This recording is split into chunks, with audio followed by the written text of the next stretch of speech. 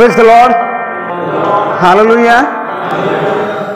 First of all, give thanks to God because He has given me this chance to stand before you. Really, it is a great privilege and honor to be to stand before you the sharing because I suppose this time because sharing God's is the greatest time for this universe. Amen. Hallelujah. So let's turn with me according to the gospel. Luke chapter 18 verse 1 through 8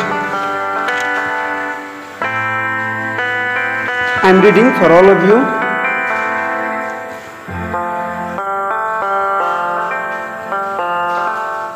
And he spoke a parable to them to show that man should always pray and not lose heart saying in a certain city there was a judge who did not fear God and did not respect men. And there was a widow in that city, and she came to him saying, Get me justice against my enemy.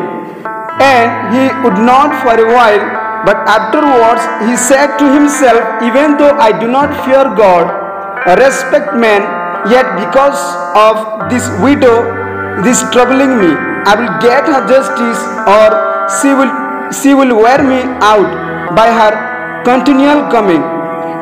And the Lord said, Hear what the unjust judge said, and will not God obtain justice for his chosen ones, who cry out day and night to him, also bearing patiently with them? I tell you that he will bring about justice for them quickly. Nevertheless, when the Son of Man comes, will he find on will he find faith on the earth? This is the word of God. Hallelujah. So before I start sharing the God's word, I want to ask you one question. How many of you pray? How many of you pray when you get the timing or or when you just or you have set the timing for the prayer? Because why I ask this question? Because whenever if I meet people or when I say do we pray, most of the people they say they smile and they say yes of course we do pray. So again, oh really this is the real disciples of God. And, and again I get more excited and just again I ask question for what you are praying for. So they said the country, nations, child marriage, financial, promotion, the list goes and the like that. So this, so today this the same parable we are going to meditate. This what we are just we should do. Just focus as a genuine believers of God. So here this parable is familiar to all of us as we read this parable. I, I think most of you have been go through this parable because all you know these parables. What is the what is the here the context is here. So here I am going to explain you the four aspects to get better understand. Hallelujah. So here first aspects is what I am going to tell you the Lord's illustration. The second one is Lord's intentions. And the third one is Lord's interpretation. And the fourth one is Lord's intercession. Lord's illustration is in the context here. The context here, there was a man in Israel city. The man was judge. He was not a good judge, but he was wicked judge. In the that city, in the same city, there was a same widow also. The widow, what she was telling? Just she was trying to approach his justice to that judge, the particular judge. But the judge is not listening. He's not bothering. Why? She kept on coming every day, every day, every day. When we read here, we just just we see the year. Even that judge, he did not fear God or even man. It means he was fully against the first commandment. What is the first commandment? Love the Lord your God with all your heart, mind, soul, and body. And second commandment is love your neighbor as yourself. So it means first he did not follow the first commandment. And the second one is he was not giving heart to neighbor. So here this judge is he was his character was this fully wicked here. So here in that same city here there was also widow. So here what is happen here? The city where because when we read and when we go through the commentaries or all the things in the books when you just dig inside the year in those times here in jesus times there was a they were fully familiar with judge. The children of israel they were very comfort with judges. Because the judges were for the justice for the needs of the people for for them only they have, they have appointed. They were not biblically appointed but the judges were appointed by the society. So children of the so children of the israel they were so much familiar with judges. But here in this time in jesus ministry time the courts does not belong to women. But why this woman is coming every day for for her justice. For for her there was no husband there was no son there was no brother nothing. So here just jesus took a took a example like a widow like a marginalized just widow. He was not even the, just considered as a people in the israel so here jesus took one just simple like a lowest example to put in that place to widow man. This is the context. The Lord's in, the Lord's intention. Why this? Why? What was the reason Jesus was trying to disciples? This is here Jesus was teaching to his disciples. When we read verse 1 and 2, spoke a parable to them that man should always pray and not lose one, Not lose heart. To whom he is telling? Jesus is telling to his disciples. Why? Why we should always pray? Why we should not lose our heart? Why we should not preach? Why we should not fasting? Why we should al- always pray?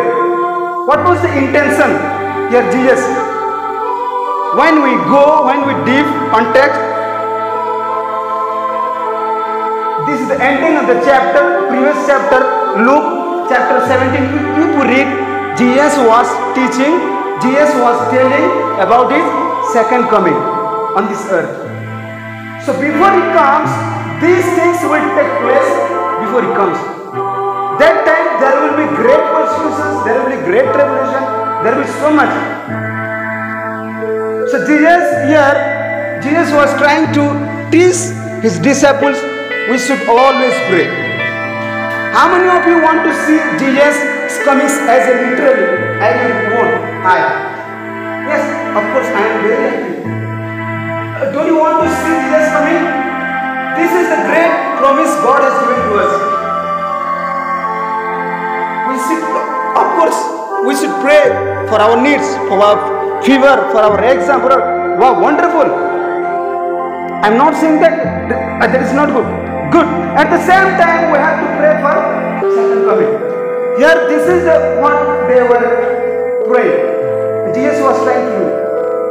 That is why at the last verse is saying that when Son of Man comes, will he find faith on earth? When Jesus will come at that time, there will be less faith. It means we will go through horrible times, tremendous time, because there is a great tribulation before he comes. So there is going to take place Jesus comes. I'm not going to see Jesus Christ like literally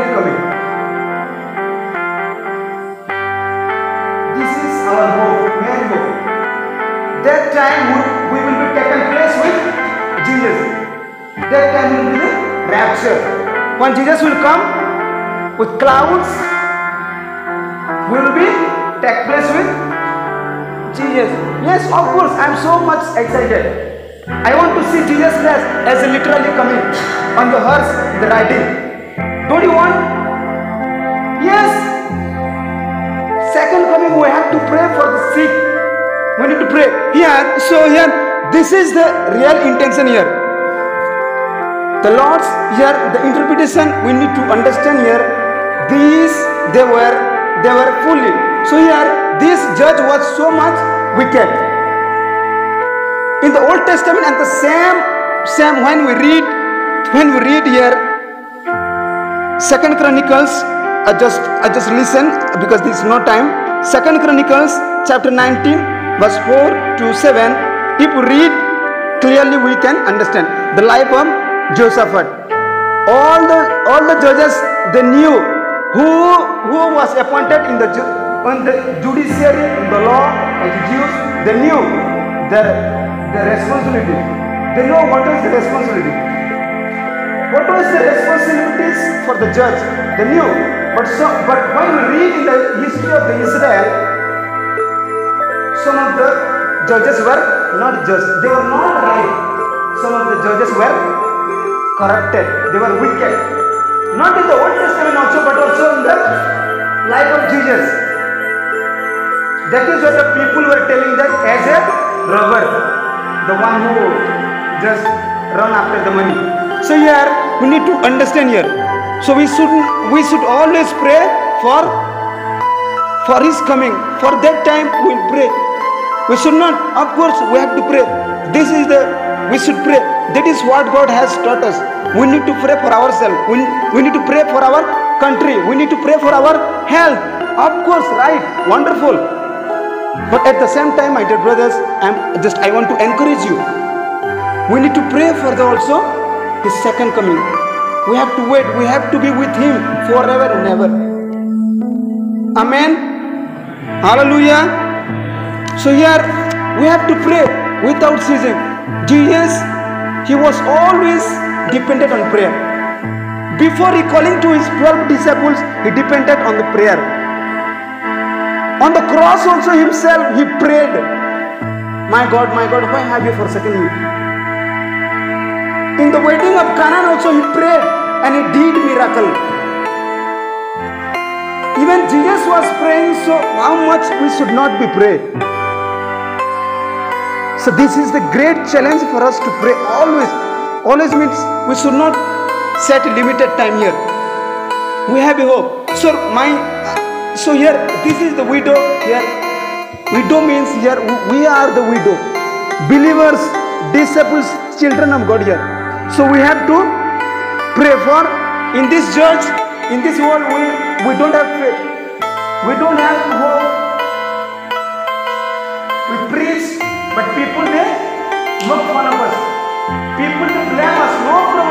Just keep on praying. If this judge, worldly judge, did not, when we read, because of his persisting continuously, when she repeated, then lastly he get just he got irritated, he get judgment. So even this worldly judge, he can forgive things about our heavenly Father. He loves us so much. So my dear friends, we have to pray always. Our God is loving Father. He is compassionate Father. We have to pray always. We should not be we should not be limited on our own thoughts. God, we have the great great blessings for us. We need to pray always, or just we have to set the for for everything at the same time. This is the what we see on this on this day.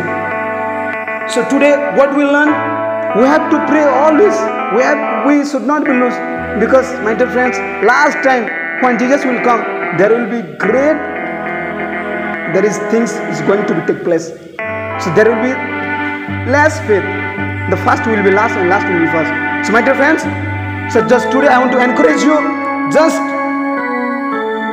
just activate our faith and just stand firm with God. No matter what the circumstance comes, no matter what the, what the difficult comes. Hallelujah. Let's stand our faith and just we are going to bind up the service. Thank you, Father, for this time, Father. Oh Lord, bless us, Father, to understand your word, Father. Oh Lord, as we meditate your word, Father, sometimes it's very difficult to understand your word and put it into practice, Father. Oh Lord, as we are weak, the humanity, Father, Father, bless us to keep very observantly, Father, in our heart and for everything who is surrounding us, Father. Oh Lord, help us to pray always, Father. Help us to hope that you are coming with us so that we, we will be forever with you, Father. Father, I pray for this, all the brothers, Father, you just, Father, you take care of them for everything in their needs, Father.